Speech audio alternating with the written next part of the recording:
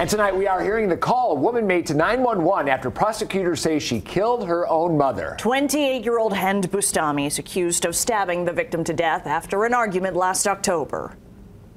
So I think I killed my mommy. Why do you think you killed your mom? Because I did. I, I murdered her. Police say after that phone call, Bustami was arrested near Barstow. It came after her mother's body was found inside a home near Pyle and Jones with stab wounds. Photos show Bustami's hands and face stained with what appears to be blood. The grand jury was shown this photo taken at the crime scene. It also shows a broken table and shards of glass. This week, prosecutors say they will not pursue the death penalty in the case. Bustami has pled not guilty.